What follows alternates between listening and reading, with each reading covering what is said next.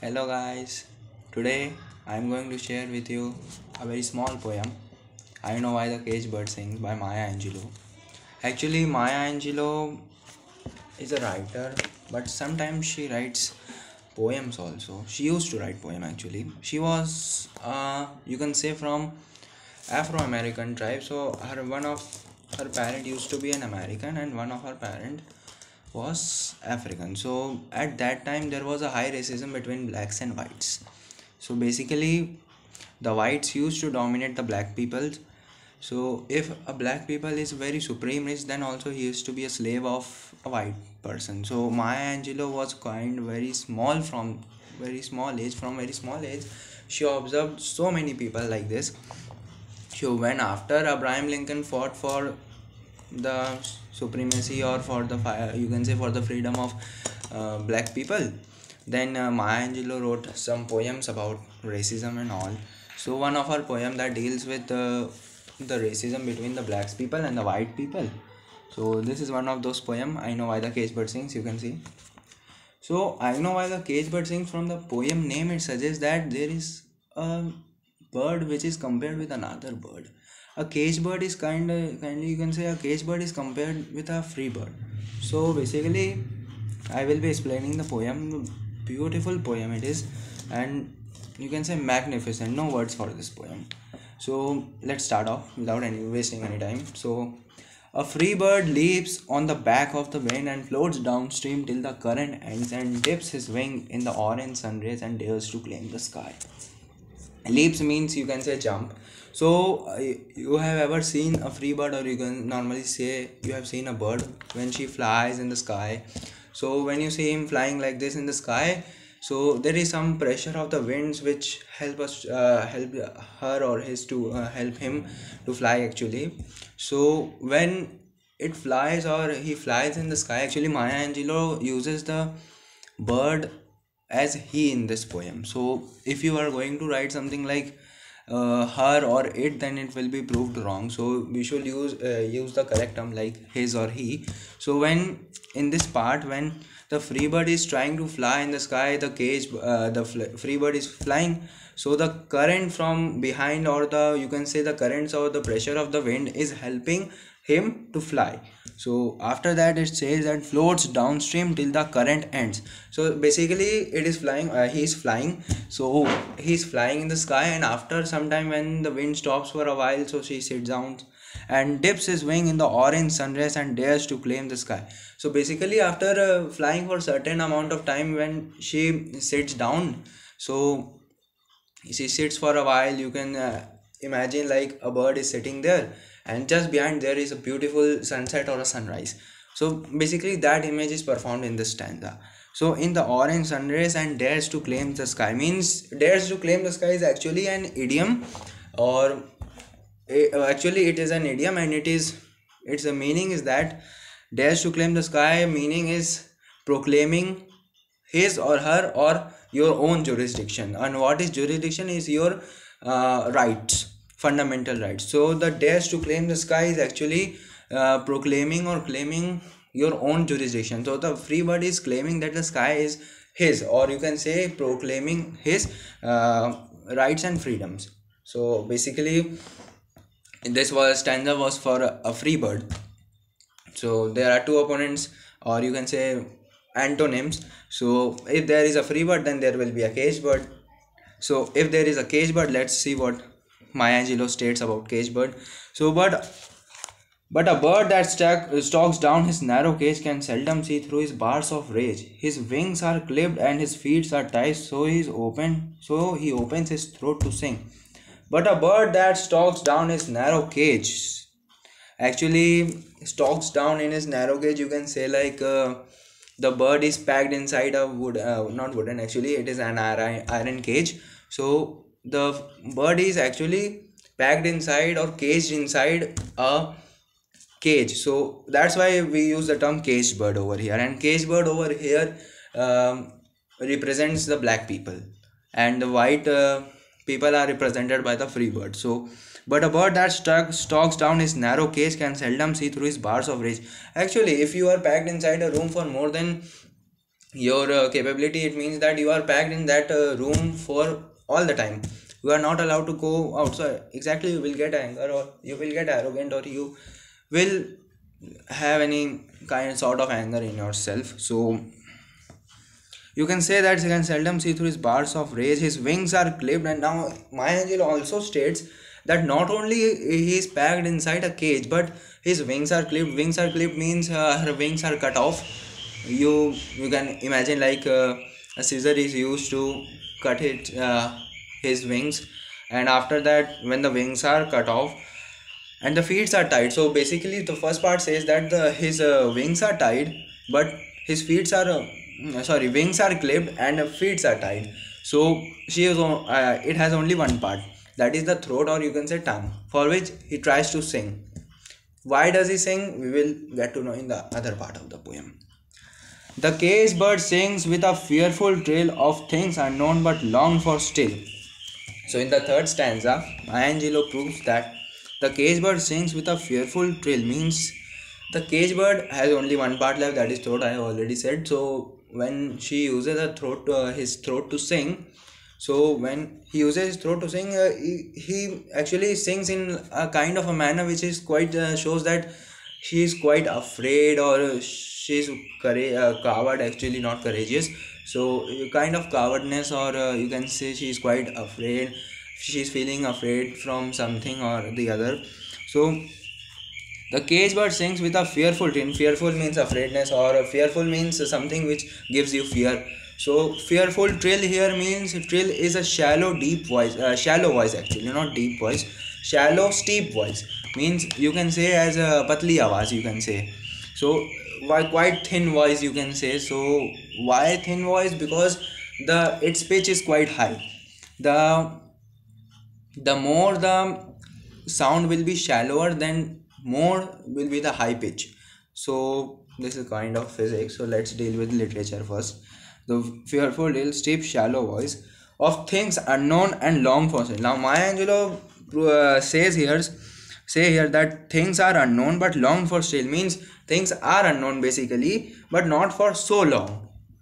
It means you will get to know about what is happening in the future. So you are something or the other the case but doesn't know what is going to happen with her but you can uh, probabilite or uh, you have a kind of probability that you uh, that uh, it gets to know that what kind of treatment she is going to be given by whoever the person is doing and his tune is heard on the distant hill for the cage bird sings of freedom. Okay maya angelou in this stanza it is a very important stanza actually because here many things are to be proved by her and are proved by her. So first of all she thinks what she thinks we are to go, going to know that we are uh, going to know that the cage bird sings a song of freedom. And why does he sing? Because she knows or he knows um, that there is somebody uh, standing on the distant hill. A distant hill is a hill you can say a far hill uh, which is quite far from you. So actually a hill which is quite far from you is a distant hill. But the bird can see uh, a person standing over there or a fellow person standing there. So she opens her throat to sing for the song of freedom that that person can come there and can rescue him from that ugly or evil person. Sings of freedom so basically if anybody asks you what kind of a song the cage bird is singing so quite simple answer. Uh, without reading also poem you can uh, identify that always a cage bird or a cage person or a person who is restricted from or is bounded by his uh, rights is always the, there to ask for freedom or not ask but actually sings for freedom. Oh wow three stanzas are over and two stanzas are left. Stanzas Fourth stanza states that a free bird thinks of another breeze and the trade winds soft through the sighing trees and the fat worms awaiting on a dawn bright lawn and he names the sky his own. Quite an important stanza this is. Uh, this stanza is divided into two parts, four four lines each. But as a whole we can say that it is one stanza. Anyways, the free bird thinks of another breeze. Now let's get back to the free bird again that what we had discussed further uh, before actually was the free bird actually the ocean uh, sorry the air current stopped so pressure stopped. Then the free bird also came and sat down rested a while. Now uh, uh, another breeze here states that again wind currents are started flowing so again she um, uh, tries to fly and then again flies in the sky and proclaims her jurisdiction and or here Maya Angelou proves that dares to claim the sky. So again she tries to fly in the sky and the trade winds soft through the sighing trees. Okay. The trade means winds means that those winds coming actually trade winds over here is used as uh, the winds that are coming and helping that uh, bird to fly in the sky. winds through the sighing trees and fat worms waiting on a dawn bright lawn. Okay. In the sighing trees and the fat worms waiting on a dawn bright lawn. Okay, in the for third stanza, sorry, uh, third sorry, third line, it states that uh, fat worms are waiting on a dark bright lawn. Okay, now basically she's flying in the sky. Obviously, will fly. She will get hunger or she will get hang uh, hungry actually. So she's actually a bird likes fat worms. Uh, it means it is quite tasty for him. So she uh, he uh, actually sees those worms on the trees. She goes eats enjoy and all uh, enjoys just uh, from sunrise to sunset. Because after that uh, as we all know that after sunset uh, every bird returns to his nest. So till that period of time she is flying in the sky eating dancing waving enjoying like a free bird. Actually it is a free bird or you can say a white person like a white person. And all those cage bird died was uh, some or uh, some or the other related to black people. As i already started with that quote about the black peoples and the white peoples war. But a cage bird stands on the grave of dreams. His shadow shouts on a nightmare scream. Very important two lines because but a cage bird stands on the grave of on in this line maya angelou confirms that uh, the cage bird is standing on a grave of dreams. Now here many of you will have a doubt that what is grave of dreams. Actually just imagine you are having a dream. You want to be an engineer doctor artist teacher whatsoever you want. Be a player or some or the other. So now you are uh, practicing or uh, gaining education for that field now after some time you realize i will not be that uh, particular person or particular field will not be connected by me because i will be standing some or the other over there that I, if suppose uh, this is the path and this is your success then half a while you have covered but half a while is left. So you are actually standing at this part of time. So now you know that after this i will not be able to move 1% ahead so actually your dreams are dead now. You are not able or actually you are not able to do anything in your life because first of all you're some or they are 10 to 20 years of age you gain education practice and uh, learn. Actually learn uh, very importantly learn practice prove improve and many more others motivational and all so after a while after gaining education and practice after 20 years when you know that i have uh, invested my 20 years in gaining education and practice for this field and after 20 years you got to know about the results that no i am sorry the dreams are not going to be achieved by me because actually the dreams are dead for me. Some or the other condition uh, example your mishappening has been taken place in your house or some or the other negative conditions so because grave of dreams here suggests the same thing.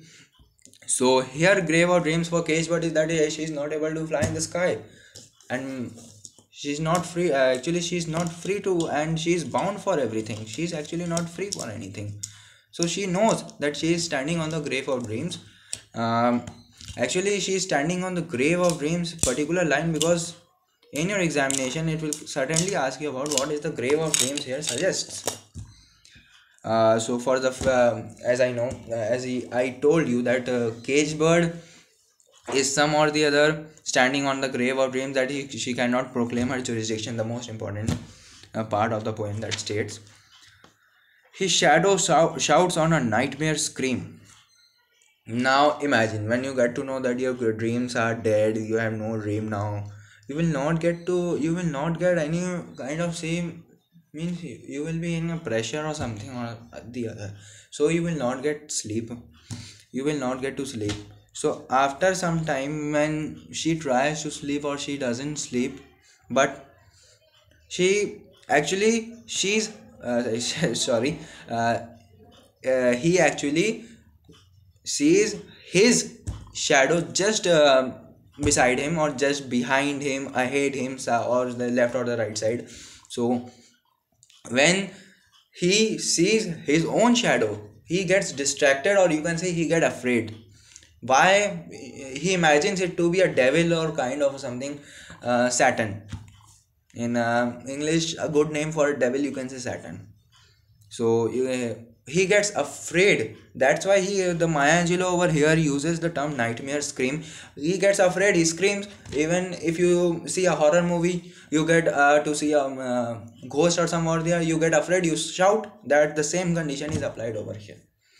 His wings are clipped, his feet are tied, so he opens his throat to sing. Now, these two lines we had just studied passed before over here. So, these two lines are actually uh, repeated by Maya Angelou because she uh, she wants us to actually focus on these two lines because these two lines are quite important.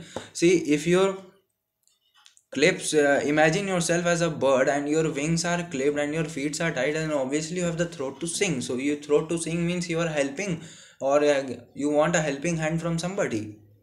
So maya angelou wants us to emphasize on these two lines now the last uh, important stanza of this poem actually the cage bird sings with a fearful trill of things unknown for long for still same that we had uh, seen over here the cage bird sings with a fearful trill of things unknown but longed for still, and his tune is heard on the distant hill. For the cage bird sings of freedom. This same stanza is actually repeated again by Maya Angelou. It is intentionally repeated by her. Actually, she wants uh, the readers to get attracted in this stanza because this quite a stanza is very important. Uh, very, very, very important actually because this stanza proves the importance of uh, freedom importance of your rights and importance uh, and somewhat imagine a person has not been given freedom he actually knows what is the value of freedom but a man who has uh, but a man who has been given freedom know yes i can eat i can walk i can do anything of my he knows simple simple like uh, nothing else. But a man who is not given freedom like the black people so they know what is actually the importance of what is the actually significance of freedom. So over the all the other maya angelou this poem states that the fight between black people and white people where black people are actually the cage birds and white people are actually the free bird so it uh, you can say a sharp attack on racism. Overall summary of this poem. Overall the poem is completed. Thank you for listening to me till now. Thank you for giving your precious time. Thank you